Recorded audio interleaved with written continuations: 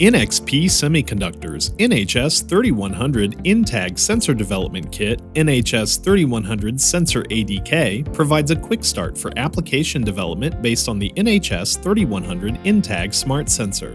There are many applications where the handling of goods must be tracked, from industrial environments where products are shipped across the globe to medical supplies.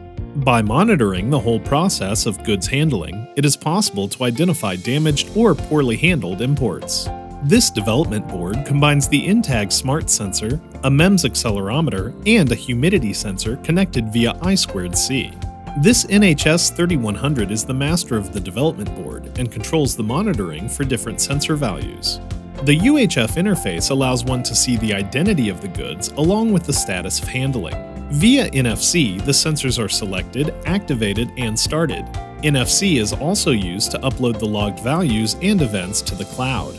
The NHS 3100 includes an embedded ARM Cortex M0 Plus microprocessor, which offers flexibility to developers to implement the device into their own dedicated time temperature integrator solutions. The sensor development kit also includes the LPC Link 2 board, an extensible standalone debug probe that can be configured to support various development tools and IDEs using different downloadable firmware images such as the LPCXpresso based SDK. Equipped with these tools, customers can develop their own differentiating solution, where sensors can be read out at various handover points in a multimodal logistics chain, providing vital information for the producer or buyer when an incident occurs. For more information on NXP Semiconductors NHS 3100 NTAG Sensor Development Kit, visit Mouser.com.